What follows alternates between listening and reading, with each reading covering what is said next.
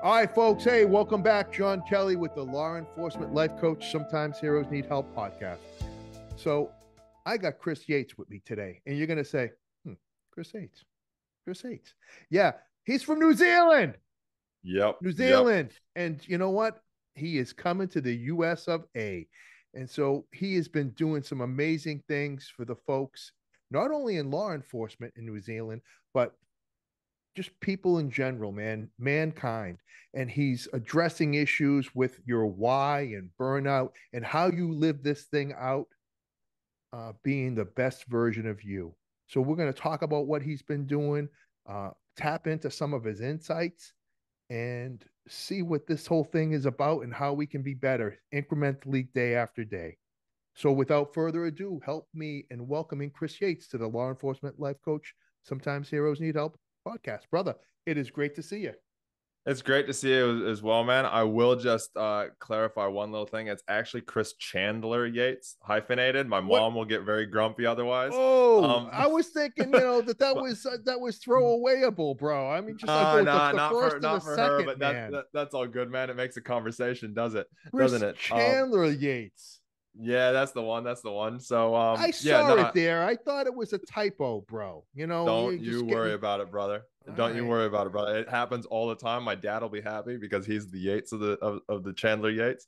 Yeah, man. Um, I don't but... want to be making any enemies with your mom, bro. So yeah, she's she's she's feisty, man. But no, right. nah, nah, it's all good. So yeah, so I'm Chris Chandler Yates. Uh, I am actually originally from California so Northern California. I grew up uh, till I was about 13 there. Then my parents took my little brother and I on a sailboat. and We sailed halfway around the world and ended up here in New Zealand. Uh, wow. So that's how I spent my teenage years building a lot of resilience, which helped me in my policing career. Uh, and then didn't actually know what I wanted to do here, brother. I actually was like, kind of like, oh, maybe I'll go work on super yachts. I'll go do some more well, sailing. Then met my wife. Not only maybe will you do that, you did that, man. Right? I did do you that. Yacht, I did. You were. What's the show, man? What's the show they have? Below uh, deck. The, you were the original oh, below, deck. Below yeah, deck no, I didn't guy, do bro. that. I didn't. I didn't do that stuff. I didn't. you were stuff, on man. below deck. You were. No, I wasn't. in season no, one. No. All right, man. All right, but that's no, what you no. did, man. You brought yachts. No, around, no, right? I wasn't on below deck. No, I wasn't on any of that stuff. I ended up not going into the sailing kind of industry after I got here in New Zealand. Uh, I still do yacht racing and that, but uh, I met my now wife and kind of was like, well, I need to get a serious job because okay. all the all the guys who I know that had done sailing professionally were old salty single guys that I was like, I do not want to be that. Yeah, uh, I got you. And so so then uh, the, the the idea of becoming a cop was actually planted by actually my brother-in-law. Uh, he kind of mentioned it one day when we were at his house with his ex-girlfriend, and uh, I was like, "Oh yeah, that could be kind of fun, like Bad Boys, the movie." Uh, I think Bad Boys Two had not recently come out, or it was you know it was pr- pretty popular at the moment. Right. And I was like, "Oh, that'd be fun. I can do this like SWAT and and all that." And uh, so I kind of started inquiring into it, and then had it kind of on the back burner because I had to get my eyes lasered. I didn't have good enough eyesight uh, to join the police force. I got to talk to you about that later. Yeah, and um, and so I didn't have quite enough good enough eyesight, and was still going down the sailing route. A job fell through for my wife and I that I got us on, and so I was like, "Why don't you, babe? Why don't we go back to the come back to the U.S. and I'll show you where I'm from." Because I had right. some money with my parents sitting there, and so we did. And when we were when we were there, we were in LA, and we uh, we drove past after a train crash had happened.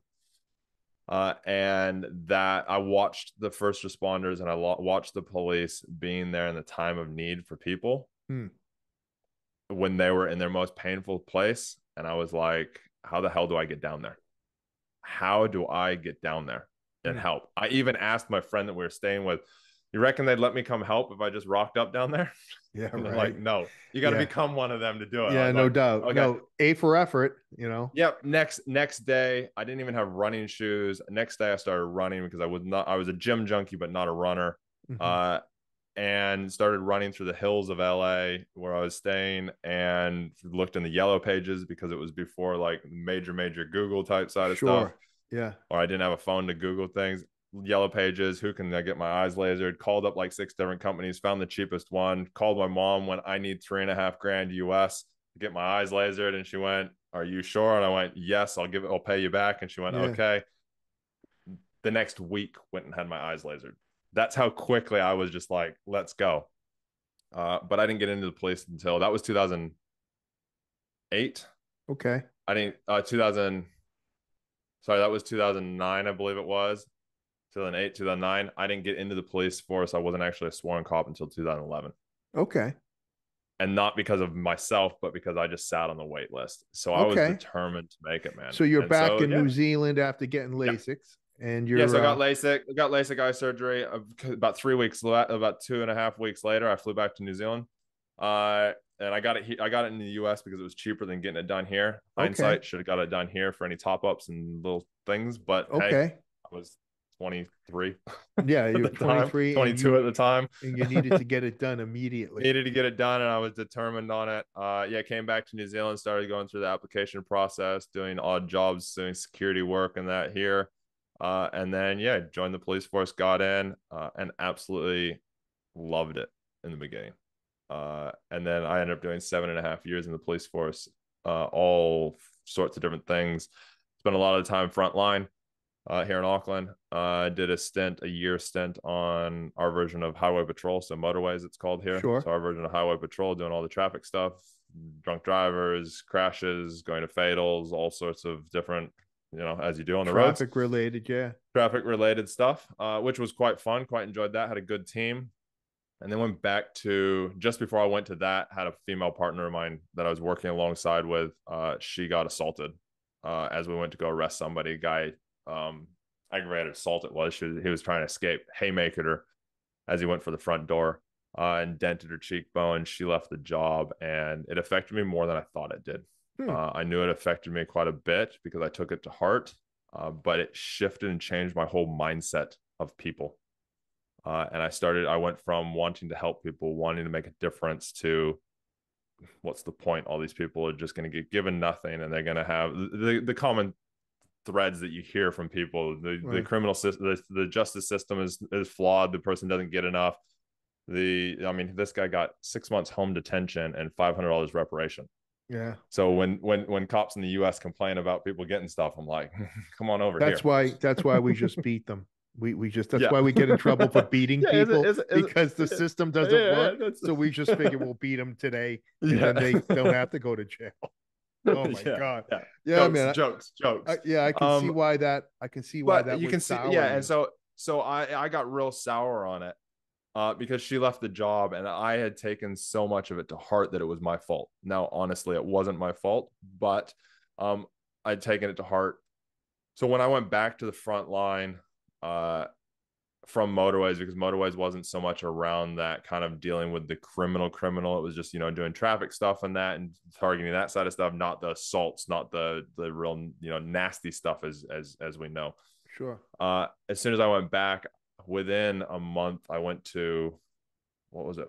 I want to say it was at least four. I think it might have been six suicides uh where the person was it was a fatal suicide. Right. uh, and also did of those, I did four notification jobs. So I'd go to, I went to the suicide and did the notification jobs, and the notification jobs were just horrendous ones. Sure. And so it just started to concrete in. Like I'm talking where guys like we're trying to find his son, and the guy I had to tell him in the on the pathway walking back, he didn't see his son, but and he collapses. Oh, yeah, Um, yeah. and I mean, you've probably heard seen them. You know, a lady couldn't even dial her telephone when we went to go tell her that her um they were going through a divorce, but that her husband had taken his own life. She couldn't even dial a tele. And then her 16 year old daughter coming down and starting trying to blame herself, and me just not being me. Uh, Right. and so those kind of just really created even more of a shell of myself. I didn't feel like I was fit in, fitting in because they were trying to move me around within the station. Uh, and at that point, I was training hard out for our version of SWAT team. Uh, and so fitness was saving my life, keeping me sane. Um, good and bad. Fitness can be used as a just like meth. It can be used as a drug, and that's what I was doing. Um, but at least it was a bit more healthy than meth. Yeah, I'm glad Um, you didn't turn to meth in that moment. yeah, exactly. Uh, and. I'm not I, I I'm not a person that goes to the bottle either because I saw the destruction it did to my parents. Good and call. so I went into the gym and I would get angry and I would throw weights around and I look back at videos of my form back then or just look back at what I'm just like, no wonder I have so many injuries Yeah, 10 years no on. doubt. Um, So strict, strict, strict and attention to form was not your repertoire, huh? No, it was not. It was just I'm in here to throw shit around and hit the All right. punching bag as hard as I can. Uh, and so yeah, so I was do- training for that, and a friend of mine was like, "Oh, you should come and you should come and do the selection for diplomatic protection as another option in case you can't get into AOS, which is our version of SWAT." And I was like, "Oh yeah, sweet, cool," and applied for it. Ended up doing that. Uh, did that selection, then did the AOS selection. AOS is SWAT for those that don't know. Uh, and yeah, so did the selection, didn't get through the selection for AOS because it is very, very, as it probably is over there as well for SWAT. It's very, you know, you got to literally take every box to the T. Yeah. Uh, but managed to take every box for diplomatic protection. So I ended up getting qualified and then ended up getting a job at um, within that group at the prime minister's house. I did then carried on, did that for three and a half years. The thing that I didn't say is that I just took all my demons with me to my protection, Oh, yeah, yeah. hoping hoping that the change of environment would change everything. Well, all it did was make it worse because I went Okay. from I went from watching people that drive crap cars, dress like shit, and are doing burglaries that match that description. We Right. know there's a description that kind of we kind of know Yeah. as cops normally look out for, to literally watching everybody and thinking everybody was that enemy. Yeah. I would be at multi-million. I would be with business people that are making millions and millions of dollars, watching them going, "Is this person a threat?" Mm. And so I went from having a profile to everybody's my profile and not trusting anyone. That, so much that, so, that hypervigilance got kicked up, kicked It up a few up, like, notches. oh, a few notches, like turn the dial to full and then Yeah. break it off. Um, so my wife couldn't leave the house without slapping, some sort of slapping the drink out of the prime minister's hand because it might be poisoned. Yeah, like uh, literally, that shit would cross my mind, man. I'd Oh be my like, I'd be like, shit, could this food be poisoned? Like, do we Oh need to check? God. Like, uh, I don't, I like, I mean, you can see the pattern from the very beginning. Of I get determined in, course. I get determined into something, and I dive straight into it. Yeah, that's it's hysterical. great, but it's a double edged sword, man. But I, yeah, so it got so bad 2015 that my wife couldn't leave the house without me telling her some sort of thing of watching her back. Um, we came back to the US end of 2015. I was so burned out and so over it all that I was like, somebody just please give me a job. Mm. Um, so I can get the hell out of here. Again, trying to escape and not really dealing with my crap. right. Uh, I had been to counseling, but it didn't really. The, the police counselor themselves just fed into whether no, I'll take responsibility. I probably didn't fully open up to everything, but Sure. again, that whole stigma of is this going to come back on me subconsciously, maybe? Uh, but he just fed into go find a like finding a different job. Uh, and Hmm. That's really that's not that's not dealing with it. By the way. no, that's not dealing with your problems. No. I already no, it, Yeah. that's just running. yeah. Yeah. Well, it's funny that that uh, a, a, a licensed mental health professional would say, just find a different job, and that Yeah. that'll. Well, I was at the time I was looking at I was trying to like the idea of taking over my uncle's business because he owns Yates Yates Gear climbing rescue equipment. So they sell actually a lot of harnesses to SWAT teams, military, high ropes guys. And I was like, oh, I could come back and take take that over. Uh, again, that whole different thing, but not dealing with the underlying stuff. And so Right. the the the he kind of was like my last kind of session was me talking about how I could go back there and have a conversation with him about it. Hmm. And so, you know, I uh, so I kind of had that. Then the end of 2015, I was coming back for a trip to see my grandma and family, and even my uncle and that. And then I was going on to Vegas to do SHOT Show with my uncle, with my dad, and my uncle, because my uncle has a booth there. Dropped my wife at the airport. Was out back in Redding, California, driving from my grandma's house to my uncle's Tacoma, and thought I had an early 2000 black Tahoe following me to my best friend's house. That's how paranoid I was. I'm in a different country and Yeah, thought somebody was you know. following me. you know, when you're doing those black ops, bro, you know. Yeah, well, it's so much so that I pulled over and like forced the car to like had the got it so that the car passed me before I Right. and then I took the long way to my best friend's house. I was just like and it's not healthy. Uh and then what was it? About six months later, I almost cheated on my wife. Okay. Uh, I got so bad that I just wanted some sort of escape. I was at a friend's party. My wife was at an event because she's an event manager. She was she might have even been overseas, and I found myself literally going through you know that process when you're trying to you know you see somebody and you're like oh yeah I have no idea what you're talking about nor do I Let's I, go back to your 20s. Let's no go back idea. to your 20s, brother. Let's go back Who to the this? 20s. Prank call, prank call. yeah. But right, you know, right. going going through that process of how do I make a move on this woman so that I can sleep with her? Yeah. At a friend's house, it was a friend of a friend. And I was just like, and I still know the lady and still in uh, like because she's a friend of a friend, we're still always, you know, but I caught myself luckily because my parents cheated on each other and I knew that the destruction that could do. My my wife and I talked in the very beginning if we ever get to that point, we break it off before we really hurt the other person. And so I literally went home and the next day, I think my wife got home the next day. I went to her, I went, This happened. Uh, I want a divorce. This happened. I almost cheated on you and I'm unhappy. This isn't working. I want a divorce and my wife loves me so much, and I'll probably get a bit teary here. My wife loves me so much that she went, let's go to counseling one more time because we've put so much into this already. Yeah. Yeah. Right. And she she could see through that it wasn't, I, I believe subconsciously and even consciously, she could see through that it wasn't me because she knows me from before policing. Right. And yeah, and that was the start of the change. She ended up having to go off to a trip for a week and a half uh, and then she came back. We got in, we did the counseling session, and the counselor, luckily, I, honestly, she saved my life. Like, I don't know where I would be now if I didn't have her. Isn't it great? I mean, when you you think that in the moment, Chris, that nobody can understand, uh-huh. right? You know, that's that other nobody that, can help. That other narrative we tell ourselves that my situation is so unique that yeah. there's no way someone's going to be able to help me look at this from a different angle, right? Like I'm done. I've been my thing was is I've been to counseling. I've been to two of them. The first one helped my wife more than she helped me, and the second the second one was the police one, and I was like, I'm yeah. back here. I'm even worse. Right. If you're telling me that you like I, like I, this isn't my fault, this is all your fault, and projecting it out onto everybody else. Uh, and you know, to be honest, the first the, on that topic that you just said, the first time going to counseling, my wife was asking me what was going on uh, my father-in-law kind of made a comment to her and to my wife and was like, "What's going on with Chris?" He was at our house and he said no, like said two words over like three hours at our house. Right. Um, but what actually got me to go to counseling the first time was actually talking to another colleague of mine. Randomly brought it up, was like, "Yeah, struggling at home with the wife, you know, this and that's going on." And she went, "Have you talked to the welfare person?" And I said, "The who?" Yeah, um, yeah. right, right, because because you you you're we're, we're 10 foot tall and bulletproof man yeah. especially in our first couple of years you mean i might need help yeah. weird i mean help what no i help people that's yeah, what i yeah. do no i, I don't yeah. have a problem you no I you have, have, a problem. problem.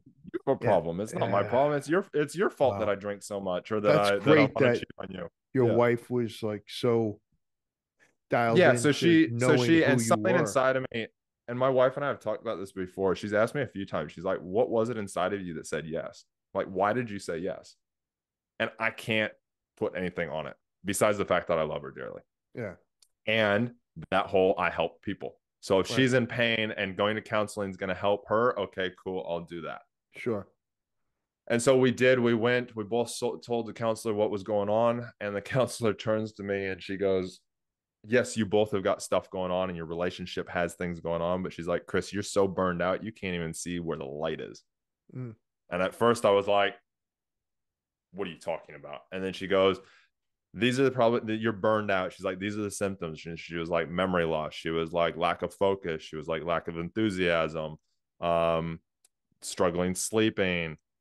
All that she rattled off every single thing. And I was like, check, check, check, check, check, check, check, check, check. Yeah, man. And I was like, and she's like, you need a break. Like, you need to take a break of some sort. Uh, and this is probably over a couple sessions, but it all looks like one in my head. Of course. Um, and so yeah, so that we ended up over a few sessions organizing that I would come back to the U.S. and do a motorcycle trip, uh, and refine myself. And that's what I ended up doing the day after my 30th birthday. Okay. I flew out back to the States. Three months was in the US, two and a half months on the road. Nice. Um, but my wife and I worked through a lot of stuff. We went to a lot of counseling. We had to work through a lot of things because that initially coming back on that trip, I didn't know if I was coming back. I still didn't know if I wanted to be with her at the time. Right. Quickly realized when I got back to the States that I did still want to be with her, that I had Yeah. my own shit going on. Right. Um, but yeah, that was that's kind of my journey to getting to the start of where of what of what I do now. Um, because that made me recognize and recently was again, you know, like you said in the beginning, I'm coming back to the US to start doing stuff for law enforcement in the US. I started meeting people and doing posts on Instagram around my journey and doing posts like I was reading back over stuff for, to like kind of prepare for this trip now this year. Uh, I recognize that what I've created now is exactly what I wrote down. I haven't looked at those posts since I posted them. Hmm. So things like I want to create a safe place for first responders to be able to, you know, feel like they're heard and be able to speak. I want to, uh, I want to help prevent anybody from feeling like I do right now. Uh, and the people that I met on that trip, I met some first response, some cops that like, like you, I know you're 30 years on, you know, 30 year career. I met some cops that did 30 years. One guy who flew, uh, flew helicopters in for the sheriff's department in LA. And the way that he talked about things and talked about people, I was like, and this was about four weeks into the trip, I was like, I never, oh, is that me? Do I Hmm. sound like that? Because Hmm. no, I don't Yeah, want to yeah. be that person 30 years down the track. Right. And um, yeah, so there's a lot of really good epiphanies. The biggest thing that I took away from that trip, and the biggest thing that I can pass on right now in this, you know, this far into the pod into the podcast is the biggest thing I learned from that trip is to be open and honest. Hmm. Not everybody wants to hear it. Not everybody's going to like to hear what you have to say, but being open and honest will get more. You'll get more back from it than anything, especially when we're going through these troubles, these challenges. I wish that I had told my wife everything that was going on. I know there's that whole passing on the trauma stuff, but even she and I have talked about it. She's like, I know where you were standing at least. Yeah. I know what was going on. I, I would say I would add one thing to that, Chris. Open and honest with you, with yourself. Yeah. with yourself. Yeah. But by voicing it out and Yeah, saying of it course. to saying it to other people, it is Yeah, man. being honest. And when you say stuff out out loud, you recognize your own bullshit. Oh yeah, it's easy. It's it's uh if you play that that record in your head, you can start rationalizing all sorts of unacceptable behavior. And And uh, when you say it to a loved one who knows you pretty well, yeah, they'll call they you know tell give them the permission to call you on the bullshit as well Yeah. and it will help so much the amount of people that i told my story that'd be like what are you doing because i had a i bought a v-star 1100 cruiser motorcycle and i had a blue from sailing i had a blue zip up duffel like dry bag duffel bag strapped to the back of the bike mhm. so you could tell that I was camping or traveling Right, somehow. And I would have people at gas stations ask me.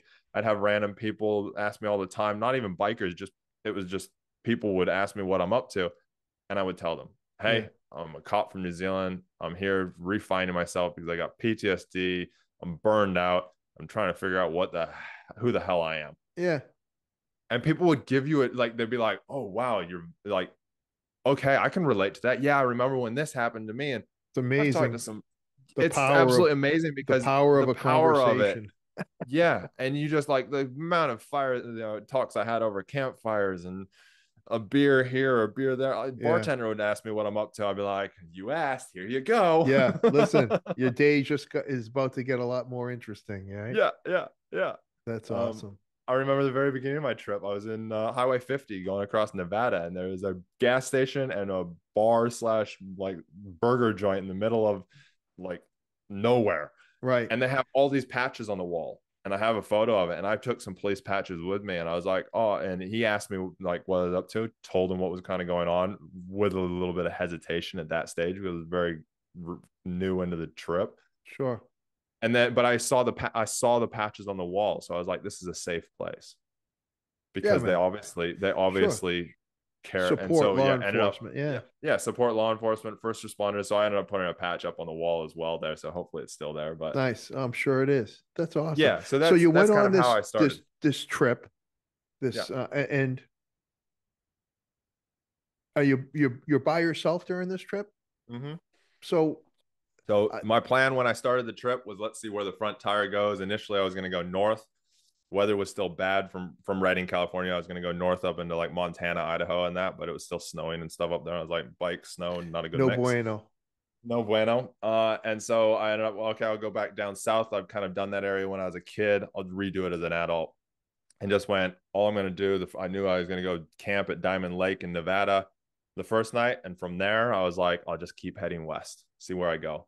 Hmm. Uh, and ended up forcing myself to talk to people. Yeah. I remember the first guy I talked to was a young kid at a gas station uh, in Nevada toward at the end of Highway 50. And I was like, oh, you know, I literally hopped back on my bike and then went, no, go talk to him, Chris. You're here to break through the barriers that you're doing right now, that you've Hmm. been in. Yeah, yeah. So I went and talked to him. I was like, hey, nice bike. You know, again, bikers, you know how it is. I know you Sure. ride. Yeah. Um, you know, you're you're like, oh, nice bike. You know, what are you up to? And he's like, oh, I'm moving from where's he moving from? He was moving from Oregon to Colorado. And he's like, I've shipped all my stuff, but I'm riding that way. I was like, oh, perfect. I was like, I'm going to stay at these hot pools and that. He's like, oh, I think those are closed, but I'm going to go stay at this other one if you want to come join me. So I was like, cool, yeah, I'll come, go. I'll come with you. The ones that I was going to were closed. There And so we go. went and stayed at this other one, met some other people, got really drunk that night. Uh, my underwear, it was a hot pool, so my, and my underwear froze on my bike. It was that cold that night. Damn. But I met some new people, and that kind Yeah, of did. started the whole everybody's not evil. Holy crap. yeah, how about that? Change your environment. Sometimes a change of environment does wonders, doesn't it? It Not so much not not a change of a job, but a change of your physical location, your environment. Yep. with a That's awesome. purpose. Of course. with a yeah. purpose behind it you know um yeah that was i think the biggest thing was the change of environment. People don't know me here. I'm doing something that i absolutely love. There's also come to find out research around riding motorcycles and how it calms the brain and does different things along that side. Also gets you to get laser focused you have to otherwise you die.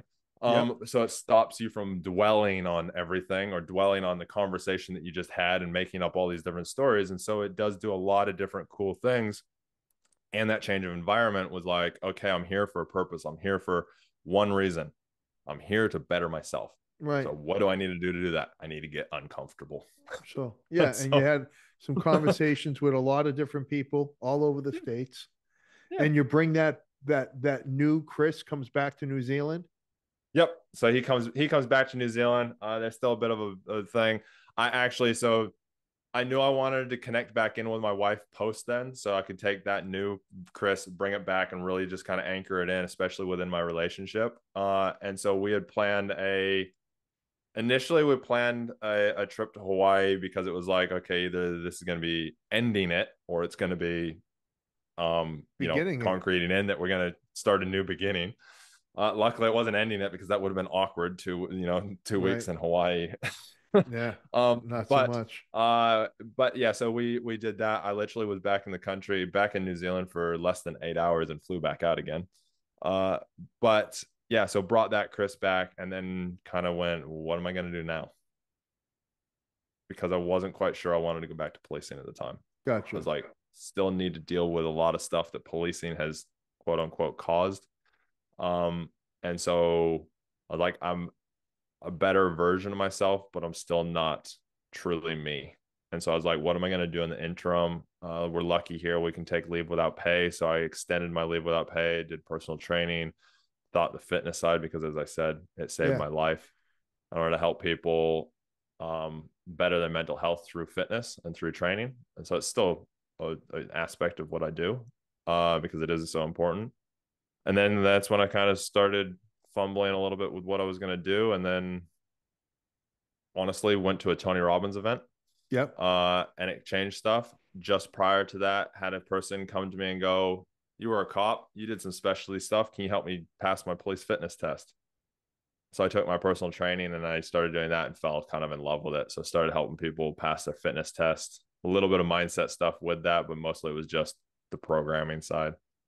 Then went to Tony Robbins and recognized the power of the mind. Hmm. Really, the power of the mind. Uh, and six days did his date with Destiny there in Florida. Uh, six days, six nights. I think it was like seven, 80 something hours over six days. we were doing stuff uh, and i recognized wow every single cop needs this before they become a cop Hmm. because if i had this stuff i would have been a completely Well, different and that's so and so that brings me to my my question is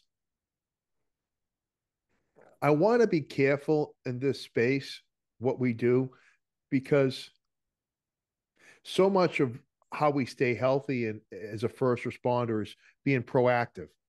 Mm. What a lot a lot of times what we do is that inaction and the non-addressing ends up manifesting itself in really negative and destructive ways, which you experience firsthand, which I experienced firsthand. The goal here is I, I truly believe this is the best profession in the world. It, it is, and and if we can just pair up some skill sets that empower our people to address the things that they're they're as sure as the sun rising and setting are going to experience if we can do that proactively then they don't need to suffer in silence for as long as we do um, what were some of the things that looking back right you know the the, the beauty of hindsight Yeah. what could have been some things that you implemented real time during some of those key moments that would have maybe changed the trajectory of your life now knowing knowing that your experiences made you who you are now Yeah. I, I I'm, I'm we're not taking away from that but what's some things that you would have told your younger chris chandler yates the the one thing that I would have told my younger self, and it's what I train. I run a couple different programs. There's the one that I'm running, you know, coming back to the US, but there's the police fitness prep program that I run, which has a mindset capacity into it. And I teach all my clients this exact thing. And so I'm glad that you asked that because it is so important. I would have reminded myself the reason and the why I want to do this. And I don't know how many people you've talked to that are new into the profession or are just wanting to get into the profession, but I talked to a lot of them. I've helped over 600 of them, 600 of them in the last five years build their fitness. And the number one thing that a lot of people say is, I want to help people. That's why I'm going to become a cop. And I turn straight around and I go, that's awesome, but it's a shit answer because if you want to help people, well, guess what? There's a local shelter down the road. I'm sure you can go find a homeless person every single day, a new one. That's helping people. So it's great surface level, but it will not keep you in this profession that will chew you up and spit you out. mm-hmm. And so the one thing that I would teach myself is get laser focused and dig deep into why you want to do this damn profession right. like at a cellular emotional level. Uh, and if I look back, I knew almost the deepest level, but it took me a lot of work over the last couple years to really get to the deepest. But the level that I, I initially started on would have kept me in the job if I had stayed laser focused on it. right. That was to create less pain. And it all comes down to the reason I went into law enforcement was that train crash. I Right. saw the pain people were in. I saw what cops were doing, and they were there for people in their most painful time. And go. I wanted to be doing that. And so my Sure. first couple years were in the lines with that. I would spend extra time at domestics talking with the offender. When they're in the back of the patrol car, I'd be sitting there planting seeds in their head. And I look back on this and I go, wow, I like, wow, like I did a lot of that. right And then my female partner got assaulted. And I got so wound up with the fact that I caused her pain because I didn't have a clear articulation of it that that and- and then and that that guy caused her pain that that's all I could see and that I failed Hmm. instead of the fact of I have to create less pain for myself first and then for everybody else and this is causing too much pain for myself so I need to deal with that right yeah that so would that been then I can shift cause right less pain.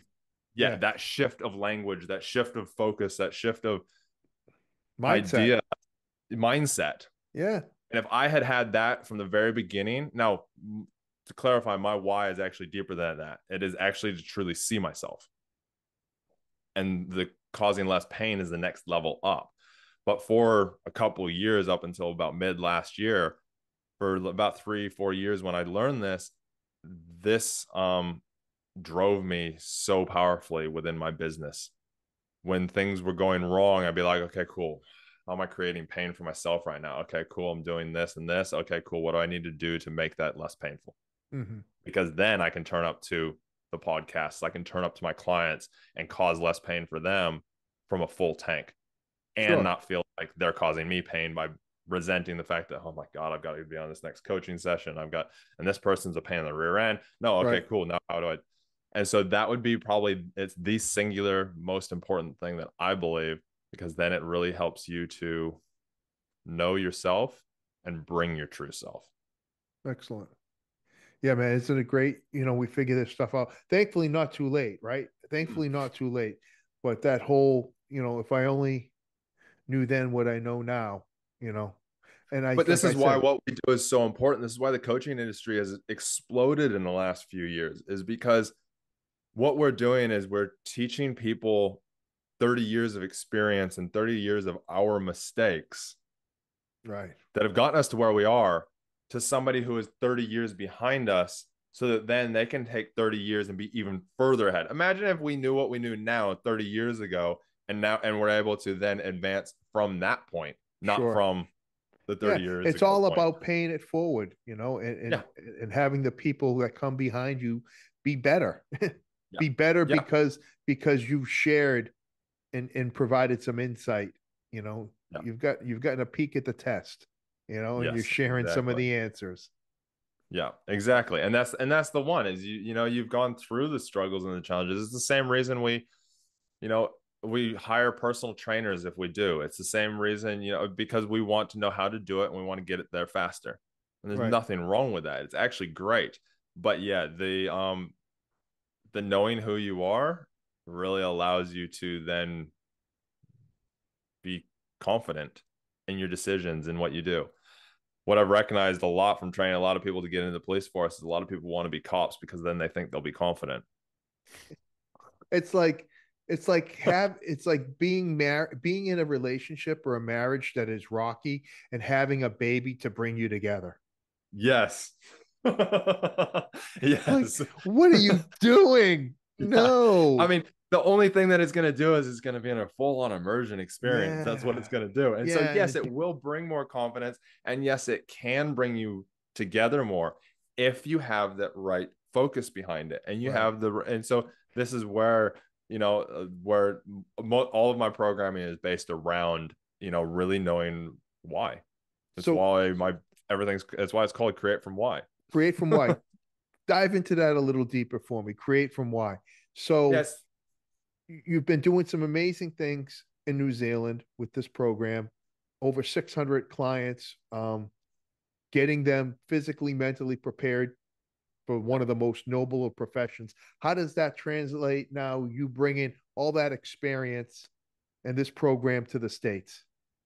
Yeah, so my business. So when I was on that motorcycle trip, uh, the counselor initially had told me she's like, it's a dark wolf and a white wolf, and they are always fighting with each other. But the light wolf is normally quieter, but has more power than the dark wolf. And the dark wolf is the loud one. It's the negative beliefs. It's the it's the putting yourself down. It's the feeling like you're not capable of doing things or that everybody's bad. It's the really loud voice that's in our head.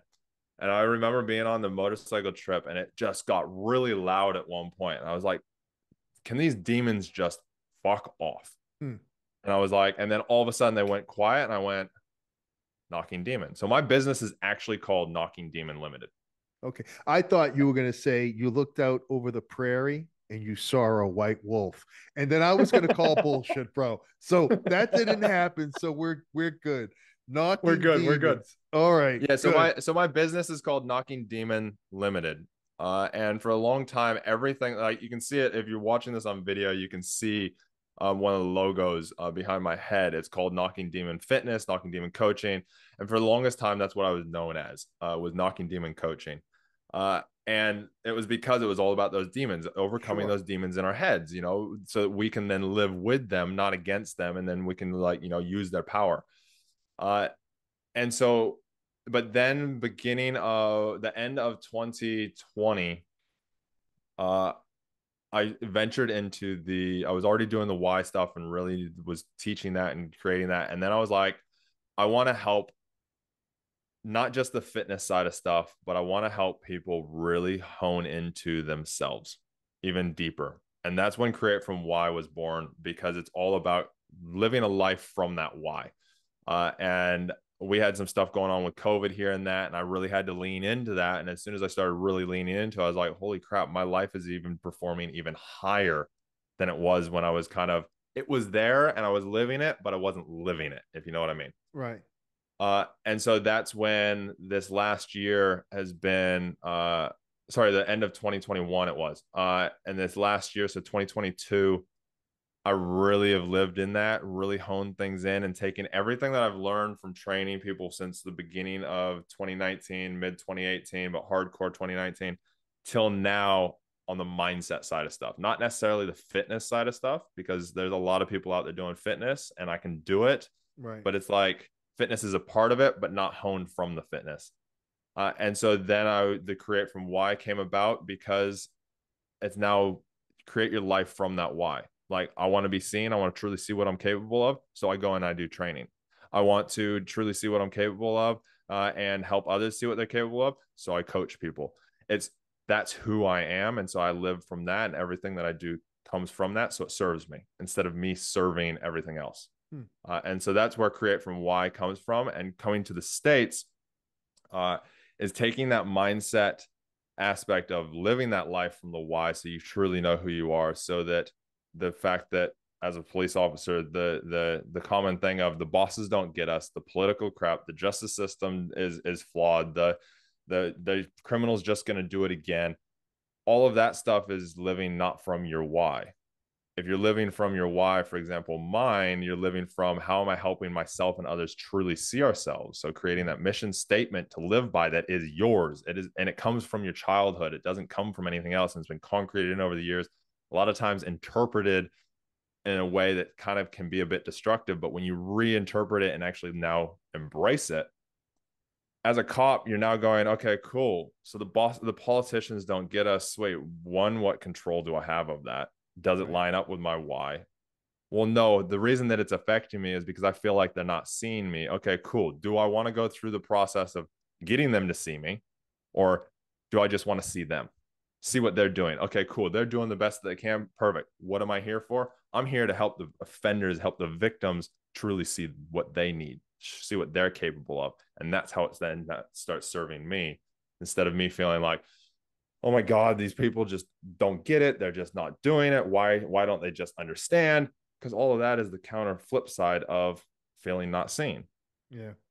And so when we shift it on its head and live from ourselves, then we can do it. So it, my program is all about taking cadets, like academy, the people in the academy, in a self learning program, but also in a live uh, a couple of times a year, especially in academy slash um, their first two years when they're the most vulnerable and they're the most malleable as such. Sure. So then they have a concreted foundation. Because if we don't have a foundation and we're building building on quicksand, no, it's not going to work. Well, it's not going to work. No. That's um, excellent. And so that's the that's the that's the program and the structure for the for what I'm bringing to the U.S. Uh, here in a couple months. That's awesome, man. Yeah, it it it kind of reminds me a little bit of that you know that serenity prayer, right? You know, mm. and and it's eh, you know we end up unfortunately getting wrapped up consuming our thoughts and our actions and trying to address things that we don't have control over and and and that's where we lose ourselves you know? I don't care what the politicians think what the bosses think and you know eh, none of that matters. I define me. I i i make that decision. I'm in charge of me. And um i think we pat we pass on that more often than not. And anything that you can do to bring that kind of awareness i think is is is amazing. Well yeah it's you know and we we do we we do that but then you add in the fact that we see, you know, what is it, 18 times as much trauma in our first 12 months as a civilian will in their entire life. Yeah. You add that onto it. And when you don't know who you are, how do you deal with that stuff? Yeah. Like my first day on the job, pretty much, it was first day or second day on the job, was a guy who had been passed away for three weeks. You could right. smell him from the street. Sure. You know our brains aren't not, designed to see it. not supposed to see stuff like that. you no know? and then Uh, go and eat rice afterwards and if you've ever been to a body that's like that you yeah, know what i'm talking about and the maggots and the Yeah, yeah of course. you know and i still can't smell death and decay my wife has to tell me to take the trash out because my nose won't smell it yeah, from that day yeah, that is a trauma response which i didn't recognize until literally a few years ago sure. but when we know who we are like i can recognize now okay cool it, that was like the very beginning so i was living from my why subconsciously of Right. truly seeing, looking around i can remember everything that's going on i can remember the passport that we found and going okay cool yeah sweet i get this guy i, I feel bad like actually process the fact that i feel bad that this guy's been left here for three weeks and his family hasn't come around like that actually kind of hurts a bit and actually being able to process that. Um, and also I remember that he had awesome Ducatis downstairs. He was a motorcycle collector. He was, and right. So so you can process that trauma better. The next next one that I went to that, that was major trauma uh, as a what people refer to as Say, trauma. how much? How much? How much did you get the Ducatis for? that's what uh, he didn't. He donated those to charity. I was like, He donated. The, he donated them to the one? Chris Chandler Yates Foundation. that would have been nice. That would have been nice. Oh, they were my like goodness. old school. They were like old school, like 50s, 60s Ducati. Like I'm talking like classics. Amazing. I was these are like yeah, but yeah, the next job was a guy from um left from a domestic. He had an argument with his missus and he went and jumped from a train. Yeah. And recognizing that yeah, the bodies didn't affect me as such as I thought, but it's going okay. The fact that this guy didn't feel seen. Okay, how do I process that? Right. Because I'm again, I'm relating it to me and my why because I can't relate it to you and your why because I don't know what yours is and I'm not you. Right. But when we know this, it actually helps us process that trauma and not hold on to it. Like you take the notification jobs, the the the I mean, I was in a dark stage, so this is why it affected me so much more because by this stage I wasn't living from my why. Watching a guy that's my dad's age collapse to his knees when I told had to tell him that his son passed away yeah. and just putting my hand on his back and just kind of standing there and not really doing a whole lot, I now recognize why that affected me so much because I wasn't helping him be seen. I wasn't helping him truly see that this is going to be okay. Right. I just was like, I'm a staunch cop. I just have to stand here. And you weren't you weren't helping him with uh you know you weren't keeping him from pain. yes, by- and I wasn't by- keep the next level. I wasn't keeping him from pain. I wasn't keeping him. I wasn't yeah, bringing yeah. excitement to him. And so those all my emotional levels of my why and my purpose were not being met. And so what did it do? Spiraled me more. Yeah. It drained me more. It caused me to burn out more. It caused the PTSD. It caused that to stick and ingrain into my head so much so that I can close my eyes and still still see it like it was yesterday Right. Yeah. Because I'm I wasn't living and serving that and doing everything that I felt I could do for that. And that's not, you know, that's just from experience and not knowing these things. Whereas once you know this and you go, okay, cool, how do I relate this to it? You turn it into a question, you live by that mission. How all the police forces have a mission statement. You're Right. You know, for the longest time, I don't know if they still do, but had protect and serve on the side of the vehicle. That was the mission statement. That's the mission protect and serve, protect and serve. When we're living by that as a cop, you feel like you're winning. Now, imagine if you had your own one that you applied to protect and serve. Right. It's a game changer. It's a game changer. And so, this is how you prevent burnout. You prevent the, the well, burnout causes sick leave, it causes use of force complaints. It cause, because at that stage, I was like, I'm here to smash heads, take names, and lock people up. Yeah. That doesn't Yeah, help. No, it's about adding it? value and quality to our lives and Yeah. redefining that mission statement so it aligns with our why is really key. Yeah, exactly. And so it, it, it literally changes it changes the dynamics of how cops work. And if you can do it in the beginning, I mean, yes, you can do it and you can shift people. It takes a lot more practice. Just like you tear a bicep, how long does it take to, you know, repair? Whereas if you're actually good with it, it can get strong. It can, you you get it stronger way faster.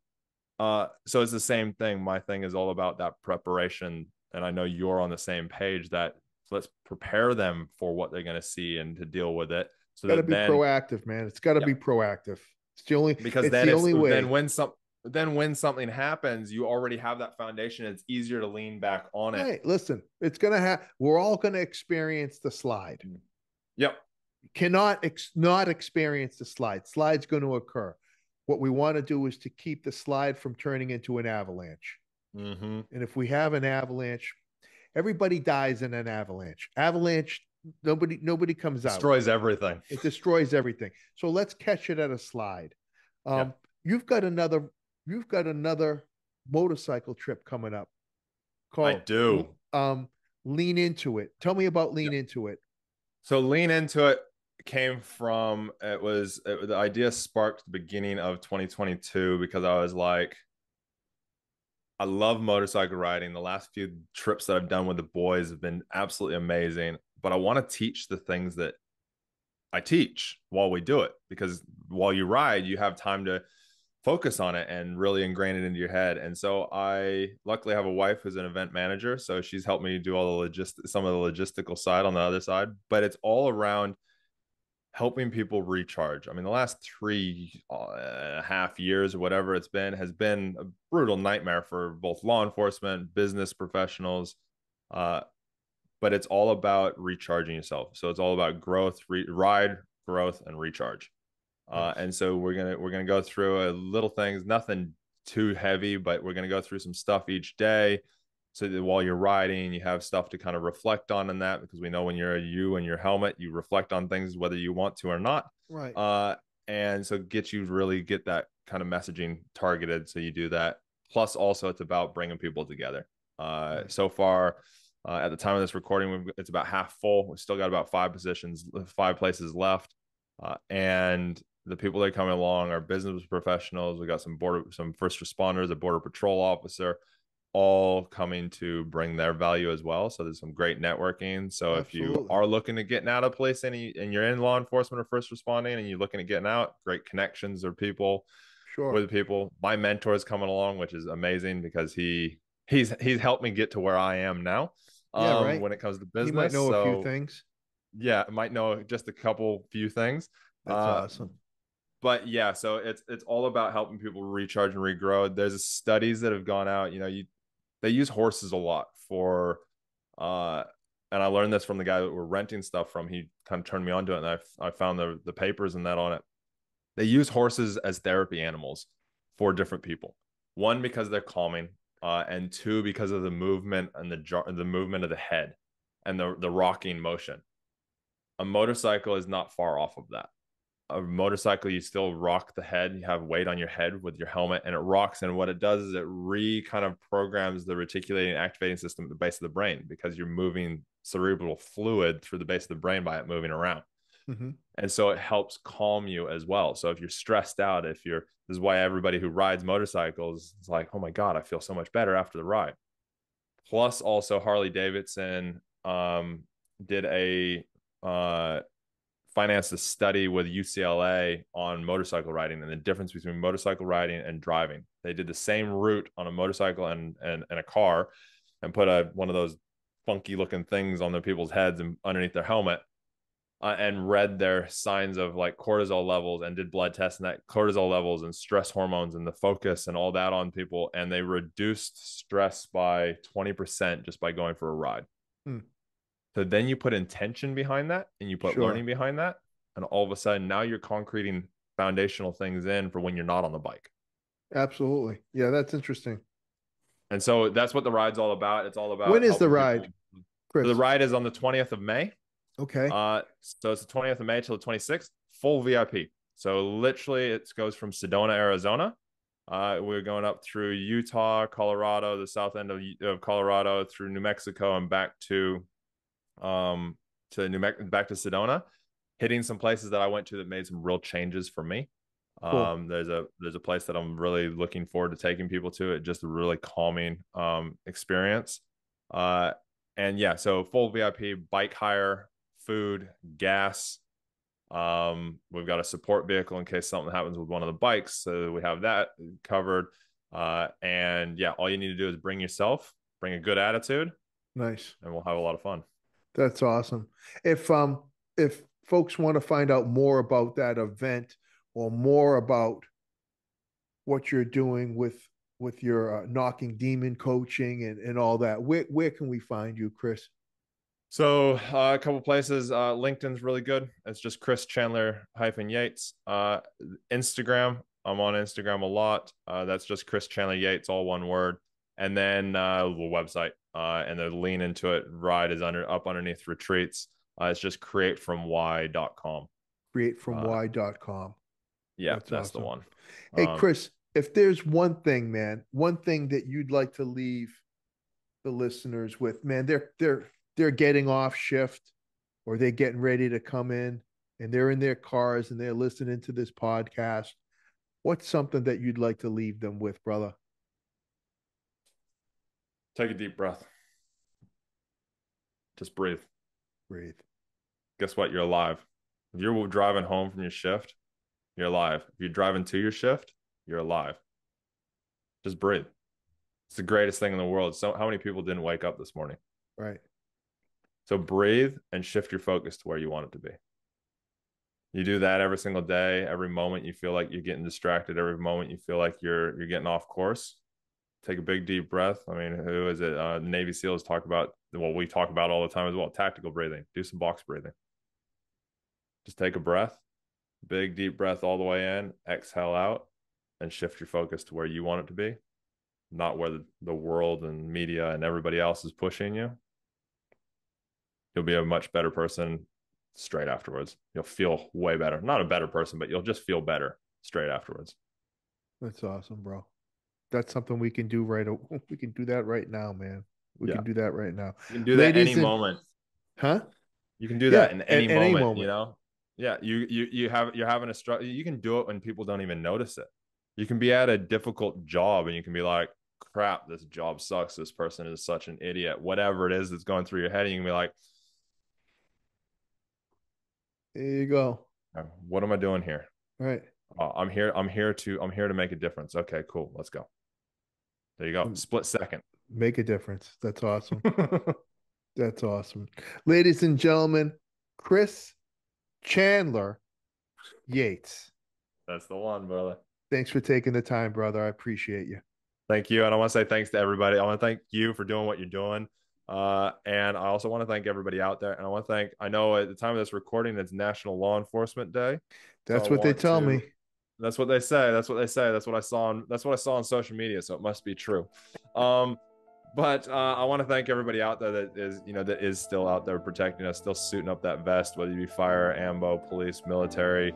Um, thank you for getting out there and doing the hard yards. Um, we're here to support you, and yeah, reach out anytime you need with anything.